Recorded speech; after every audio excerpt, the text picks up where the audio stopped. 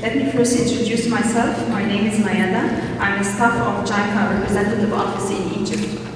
It's a great pleasure to welcome you today at our conference on inclusive growth in Egypt, which is organized by Japan International Cooperation Agency and Faculty of Economics and Political Science, Cairo University, in collaboration with Brookings Institution. We are hoping today to discuss several key elements for inclusive growth in Egypt, listen to international experiences and exchange views with international development partners. We are quite sure that you will benefit from the wealth of expertise of our speakers, as well as from the active participation and discussion. Please note that we have simultaneous translation in Arabic and English, so kindly make sure that you have the translation device in case you need it. We are expecting to follow the schedule planned in the agenda, so we'll be having two consecutive sessions, followed by a coffee break at 12.15 outside this room. And then we will resume back with two more consecutive sessions, and then lunch will be served uh, at 3.15 in the cafeteria uh, on the second floor. So we are greatly honored uh, with the participation of His Excellency, Minister of Agriculture and Land Reclamation, Dr. Ayman Farid Abu Hadid, and the presence of His Excellency Ambassador Marwan Badr, advisor to the Minister of Planning and International Cooperation on behalf of Dr. Ashraf Al-Arabi, Minister of Planning and International Cooperation. Uh, now we, I would like to announce the start of the first session on inclusive planning in Egypt. The session is moderated by Dr. Hala Said, the Dean of the Faculty of Economics and Political Science, Cairo University. Dr. Hala will give her speech in Arabic, so please make sure that you have a translation device in case you need it. Thank you. I give the floor to Dr. Hala.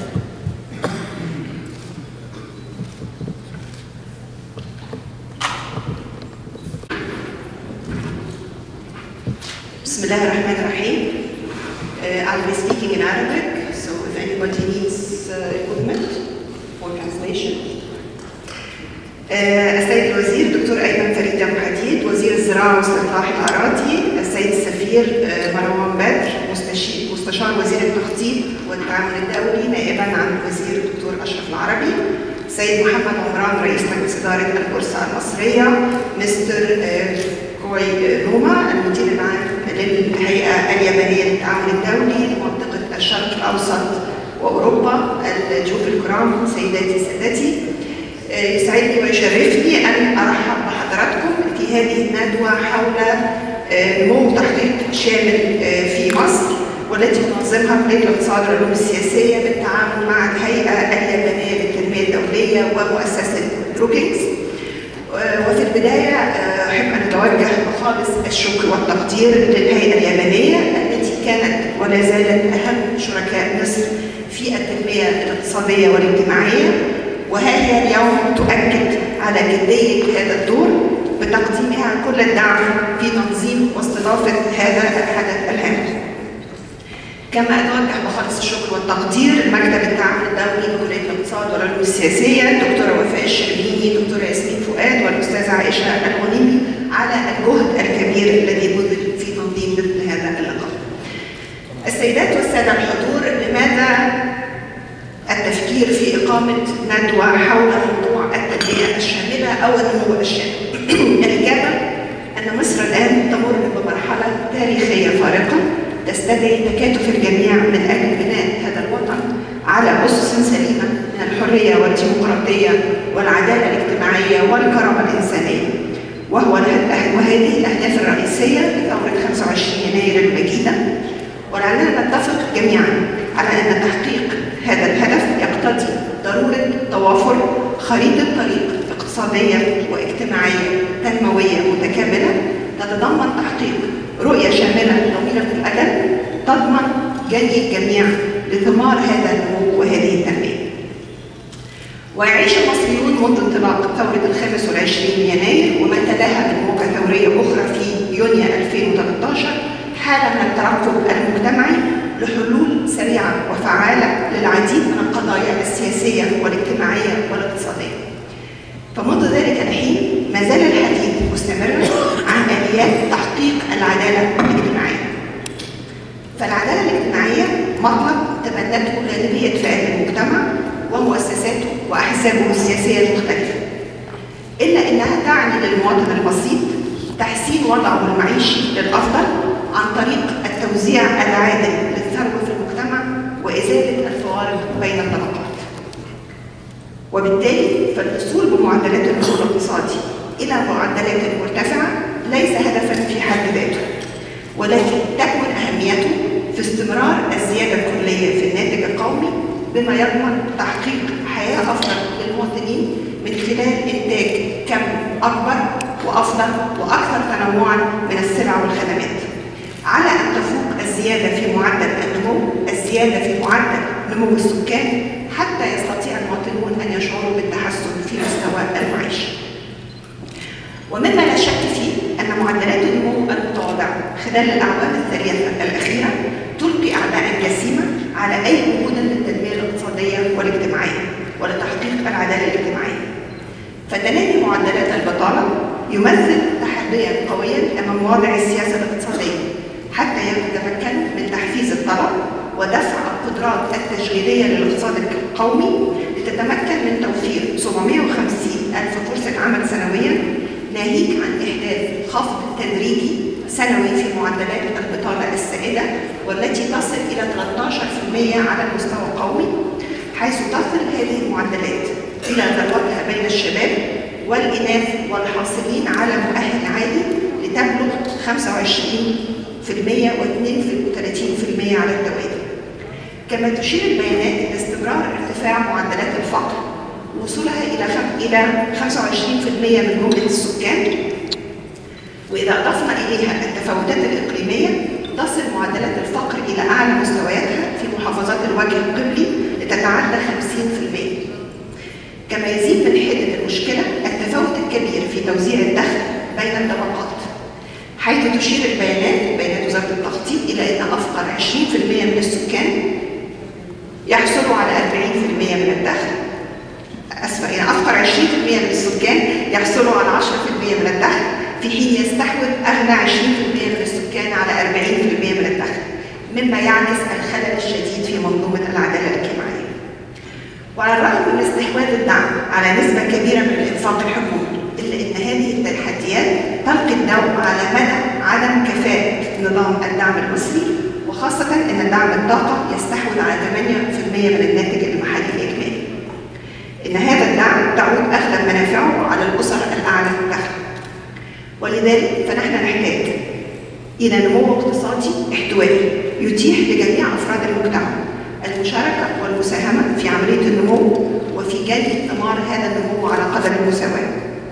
نمو اقتصادي احتوائي من خلال برامج متكاملة للحماية الاجتماعية الفقيرة والمهمشة والتي زاد حد معاناتها خلال السنوات الماضية وإتاحة الخدمات الاجتماعية التي تمس حياة المواطنين من تعليم وصحة والارتقاء بجودة الخدمات العامة نمو متوازن بين القطاعات الاقتصادية المختلفة وبين الوحدات المحلية على مستوى الجمهورية مع إعطاء أولوية للمحافظات التي عانت من تدهور مستوى الخدمات العامة.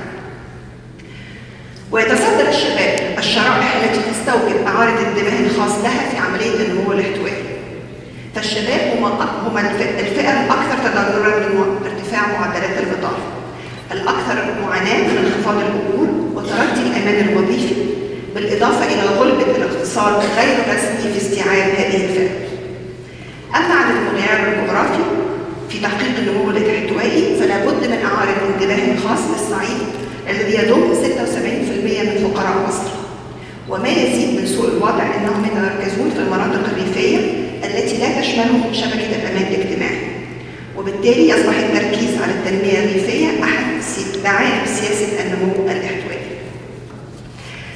أما عن موضوع هذه الكارثة فيدور حول التخطيط الشامل فمنذ منتصف الثمانينات ومصر تستحدث مكونات وإجراءات مختلفة في إصلاحاتها الاقتصادية من أجل تخفيض العجز والمحافظة على النمو الاقتصادي وركزت هذه الإجراءات على مجموعة من الإصلاحات الاقتصادية وتحرير التجارة الخارجية وتيسير إدارة الضرائب ولكن هذا الإصلاح لم يصحبه لم يصحبه إصلاحات في منهجية التخطيط التي تتبناها الدولة والعلاقة بين الحكومة المركزية ووحدات الإدارة المحلية.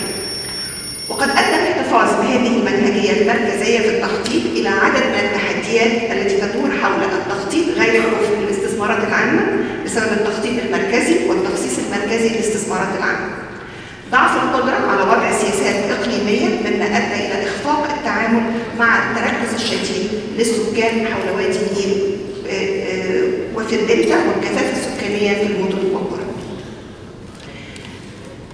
الضيوف الكرام الحضور الكريم السادة السيدات والسادة لا يوجد الوصفات الجاهزة أو صيغ سحرية للوصول إلى العدالة الاجتماعية والنمو الشامل ولكن أؤمن بأن نقاشا يجمع رموز الخبرة الاقتصادية وصناع القرار وكبار الرواد في مجال التنمية يمكن أن يكون الخطوة الأولى لإيجاد أفضل الحلول ومن هذا المنطلق أدعو السادة والسيدات الأفاضل للمشاركة اليوم في نقاش مفتوح يمكن الاستناد عليه عند وضع خطة لنمو احتوائي في مصر في إطار جدول أعمال الندوة التي يغطي أربع محاور متكاملة من شأنها أن لنا آفاقا متجددة تساعدنا في سعينا الدائم نحو اقتراح مبادرات إنمائية ووضع استراتيجيات اقتصادية لخلق وتعزيز نمو احتوائي في مصر. وهذه المحاور التي تتناولها الجلسات اليوم تتطرق إلى الإجابة على العديد من الأسئلة كما يلي. كيف نجعل من عملية اتخاذ القرار الاقتصادي أكثر شمولية؟ ما هي السياسات الواجب اتباعها من أجل خلق وتعظيم فرص العمل للشباب؟ كيف يمكن تشجيع النمو الزراعي والتنمية الريفية والتقليل من حدة الفقر في المناطق الريفية؟ وأخيرا وليس آخرا المحور الهام حول حول كيف يساند شركاء التنمية الدوليين الاقتصاد المصري في تبني استراتيجية النمو الاحتوائي. أحب أن أشير أيضا أن في هذا الإطار تتبنى كلية الاقتصاد والعلوم السياسية بالتعاون مع وحدة العدالة الاقتصادية بوزارة المالية التي ترأسها الزميلة الفاضلة الدكتورة شيرين الشواربي سلسلة من اللقاءات التي تطرح القضايا حول هذا الملف الهام من قضايا القطاع الغير الرسمي ومنظومة الدعم والتجارب الدولية الخاصة باستهداف غير القادرين والمهمشين. ختاما أود أن أشكركم جميعا على حضوركم اليوم و أنوه إلى أن الاستفادة من تجاربكم وخبراتكم وتبادل الأفكار والمعارف. هي ضرورة حاسمة في هذا المحفل الهام وأتمنى لهذا الملتقى مناقشات مثمرة ونتائج وملاحظات قديرة جديرة بالاهتمام. السلام عليكم.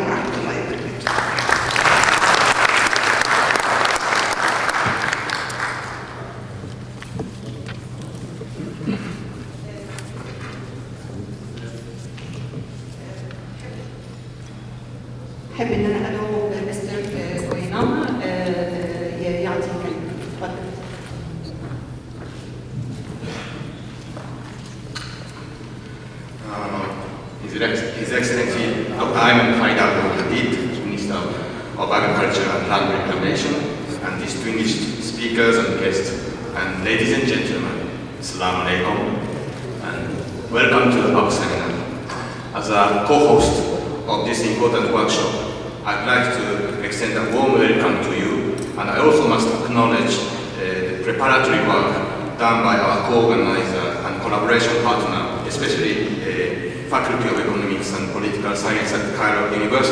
led by uh, Dr. Hala El Said, Dean of the, Faculty, and of course, uh, Brookings institutions, and I welcome respected uh, representatives from the renowned professors and practitioners to the.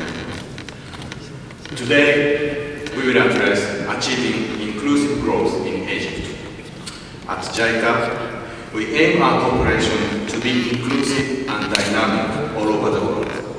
This is the approach which we in Japan have directed towards our own development, and it is the principle that governs our bilateral economic cooperation. When we say inclusive, what does that mean? It means that we'd like to, uh, our assistance to reach all parts of the population, including the most vulnerable.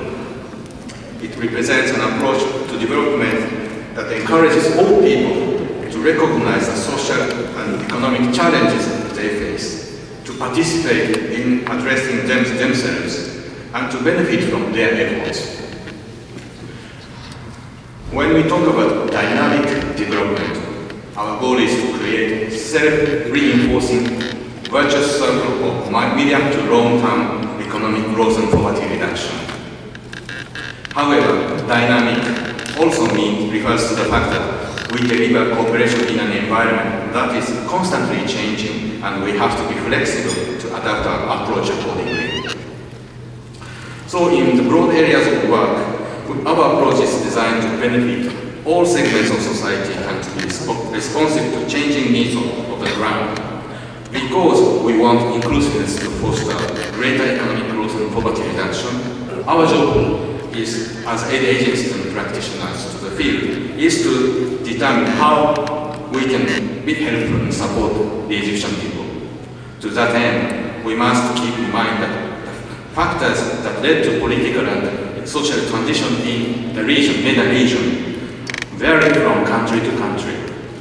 Therefore, we should respond to the needs, and we should be flexible, and we should respond to the needs in Egypt based on a careful analysis of the local conditions. We also need more skillful approaches to encourage inclusive growth. The rapid influx of youth people, young people into the labor market has not been matched by sufficient job creation.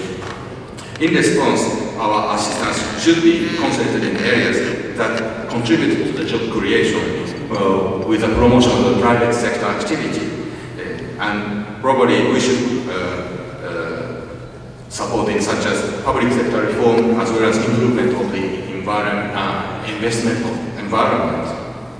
We can also learn from the experience of Southeast Asia in the 1970s, where the number of the youth as percentage of the product, productive age population was much greater than uh, actual figure in Egypt or in many, many countries. These countries grew by developing goods for export to industrialized nations, improving productivity by emphasizing education, removing barriers to private investment, and enacting industrial policies that supported to the new export industries, also as well as to agriculture. At JICA, we will support inclusive growth in many countries through grants, technical cooperation, as well as concessional loans. In Egypt, we have been supporting the election administration process and assisted to formulate the country's new 10-year development plan uh, called Strategic Framework for Economic and Social Development Plan. The plan is intended to spur growth in collaboration with private sector. From economic development point of view, we have, we have worked with expansion of Egyptian economic infrastructures, such as Cairo Metro number 4, which is, implemented. And we are also providing intense assistance to uh, social development. We have supported also small-scale farmers in rural area and cooperated with Egypt's many efforts for the development of small and micro enterprises. Of course, we also uh, financing actually the greater Egyptian, Great Egyptian Museum, the Great Egyptian Museum as, to promote the tourism. And this is going to be a very symbolic uh, project between Egypt and Japan. So in conclusion, this seminar is intended to stimulate a free, growing discussion among panelists from different backgrounds and perspectives. We also welcome active participation from the audience. And we would like to hear your thoughts on how to support inclusive uh, growth in Egypt. I also hope that this workshop will serve as a networking uh, ground for the many parts of the world. And thank you very much. Shukran Gidda.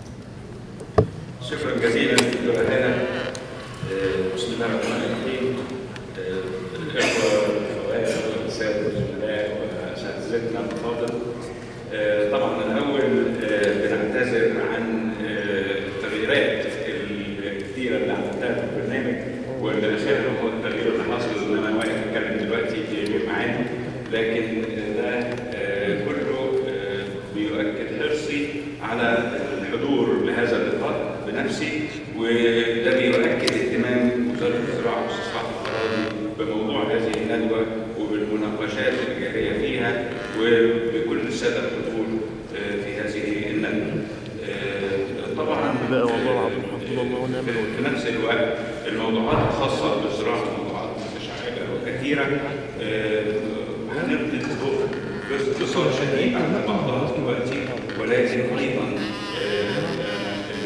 اللي بيطمني وجود الاستاذ الدكتور عادل البتالي القاعه تكون له كلمه في آه، آه، آه، سيشن خاصه المجدوله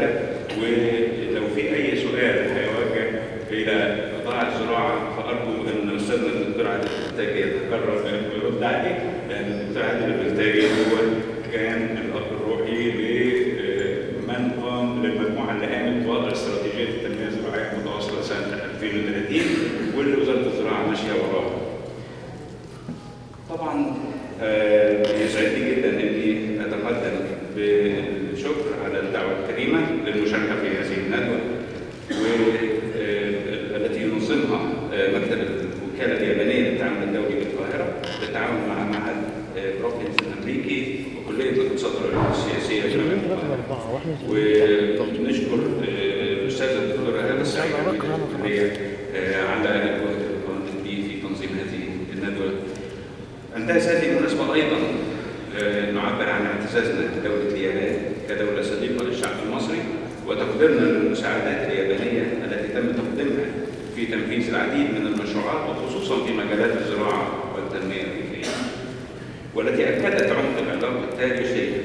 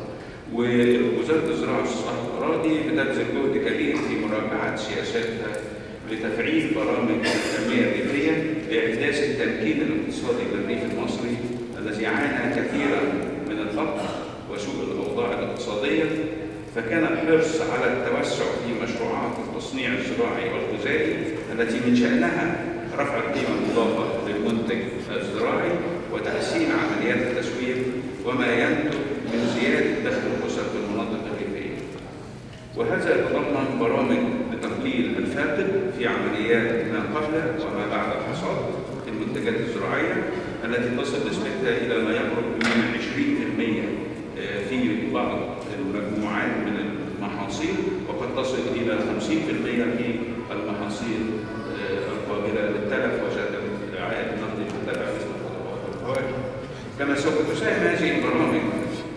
فرص عمل جديدة للتغلب على مشكلة البصالة التي تمثل أحد أهم المحاور الرئيسية التي تواجه قضايا التنمية بشكل عام. الزراعة المصرية بتمثل النشاط الرئيسي للاقتصاد في مصر وهي المولد الحقيقي للنمو الاقتصادي حيث تمثل الزراعة بنحو 14% من مجموع الناتج المحلي الإجمالي 55% من سكان مصر تعيش في مناطق الريفية والتي تمثل الزراعة فيها 32% من إجمالي القوى العاملة في مصر. آه، وزارة الزراعة واستصلاح الأراضي قامت بإعداد استراتيجية التنمية الزراعية المستدامة حتى عام 2030 والتي تعتمد على الاستخدام الأمثل للموارد الزراعية ومياه الري والعمالة الزراعية ورأس المال والإدارة والتكنولوجيا وأيضا على المميزات الإقليمية للمناطق الجغرافية المختلفة في مصر. كل ده بهدف تحقيق زيادة في النمو الزراعي ليصل إلى 4.1% سنويا وبالتوازي مع ما سبق فإن تنويع الاقتصاد الريفي وتحسين البنية التحتية والخدمات الاجتماعية في المناطق الريفية سوف يساهم في تحقيق نمو اقتصادي علاوة على خلق فرص عمل جديدة وتحسين نوعية الحياة في المناطق الفقيرة. كما أن تنمية الكوادر المحلية وضمان الإدارة الرشيدة على كافة المستويات سوف يضمن وصول عائد التنمية إلى صغار المزارعين وإلى الفقراء في الريف. كما تم وضع البرنامج القومي للفترة من من 2013 حتى 2017 والذي يمثل خطة قصيرة الأجل تلبية لمتطلبات الوزارة ويشتمل هذا البرنامج على أربعة محاور رئيسية وهي زيادة الإنتاجية الزراعية والاستفادة من تطبيقات البحوث والتكنولوجيا الحديثة في ظل الموارد المتاحة والعمل على تطبيق منظومة الزراعة التعاقدية. اثنين زيادة الاستثمارات في الزراعة لإنتاج المحاصيل الزراعية الاستراتيجية وتقليص الفجوة بين الإنتاج والاستهلاك. ثلاثة مواجهة سوء التخزين والنقل والحد من الفاقد للمنتج الزراعي بإقامة صوامع لتخزين الحبوب في الأراضي الجديدة والقديمة وتطوير طرق التخزين في الدلتا. أربعة التوسع في استصلاح واستزراع الأراضي خاصة فيما يتعلق بالمشروعات الكبيرة بمفهوم جديد يتضمن نوع من التطوير للتعاونيات القائمة بحيث تستطيع أن تتماشى مع العصر الحديث في وهاب اقتصاديات السوق الحر ووضع الآليات التنفيذية لطرح هذه الأراضي للمستثمرين الجادين وأيضا للتعاونيات المكونة من شباب الخريجين والفلاحين. خمسة الاستثمار في مجال الإنتاج الحيواني والداجني والاستزراع السمكي في المياه العذبة وأيضا الاستزراع السمكي. ستة الاستثمار في مشروعات التصنيع الزراعي وإقامة المجمعات الزراعية الصناعية من أجل زيادة القيمة المضافة مع خلق فرص تصديرية جديدة تساهم في خلق المزيد من فرص العمل للمرأة والشباب لمحاربة البطالة. سبعة إنشاء نظم معلوماتية للزراعة والغذاء على مستوى وزارة الزراعة يمكن من خلالها تجميع البيانات الموثقة والتي تتعامل مع الزراعة بصورة احترافية والتي تضع في اعتبارها التغيرات المناخية. ثمانية تحقيق التنمية الريفية مع تحسين مستوى المعيشة للفلاح المصري مع خلق فرص للعمل إضافية في الريف المصري وخصوصا للمشروعات الصغيرة والمتوسطة. تسعة الحفاظ على الموارد الطبيعية وتطويرها وتطوير استخداماتها لتعظيم الاستفادة من وحدة الأرض والمياه في برامج التنمية الزراعية المستدامة وبالتزامن مع التوسع في مجال استخدامات الطاقة الجديدة والمتجددة وخصوصا الطاقة الشمسية وطاقة الرياح. إن مصر تعتبر تحسين أحوال الريف ومستوى معيشة سكانه هدفا محوريا خلال سياسات وبرامج عمل تقوم على تنفيذها جهات الدولة على اختلافها. وقد تقدمنا فعلا إلى وزارة التخطيط بهذا البرنامج الذي سبق شرحه وهو الأمر الذي يدعونا إلى إقامة برامج ومشروعات مشتركة تدعمه وتهدف إلى تحقيق التنمية الريفية المستدامة وتساهم بشكل فعال نحو تحقيق النمو الشامل ويجب أن يتصدر رأس أولويات سياساتنا وأعمالنا ما يتصل بالمنهجية التي يجب اتباعها لتحقيق التنمية بمفهومها الشامل. وفي ظل ما نواجهه من مشاكل تتعلق بتناقص مساحة الأرض الزراعية وندرة المياه والتي تتفاقم يوما بعد يوم والتي تستوجب ضرورة استحداث رؤى جديدة وآليات مبتكرة تعمل على السعي نحو تحقيق منظومة متكاملة للتنمية المستدامة. وأرجو من خلال تواصلنا في جلسات هذه الندوة أن نقف على إمكانيات تحقيق التنمية بمفهومها الشامل والاستخدام الأمثل لمواردنا المتاحة بما يحقق معدلات النمو الزراعي المستهدفة وذلك من خلال إعداد مجموعة من البرامج والمشروعات البحثية المشتركة التي من شأنها تعزيز مراحل التنمية. وفي ختام كلمتي أتوجه بالشكر لأعضاء مكتب الوكالة اليابانية للتعاون الدولي للقاهرة على تنظيمها لهذه الندوة. كما نتوجه بالشكر لكل من شارك فيها ولا يفوتني توجيه شكر خاص إلى الاستاذه الدكتوره هاله السعيد عميد كليه الاقتصاد والعلوم السياسية بجامعه القاهرة على استضافة هذه الندوة وإلى السيد الدكتور حافظ غانم لدعوتي لهذا اللقاء. الجميل. واحدة من الخطوات نحو مزيد من التواصل وتقارب من وجهات النظر للوصول للأهداف المنشوده وتحقيق نمو حقيقي. شامل في أرجاء مصر. كما اشكر الدكتور علي التالي على اجاباته على جميع الأسئلة التي ستوجه لي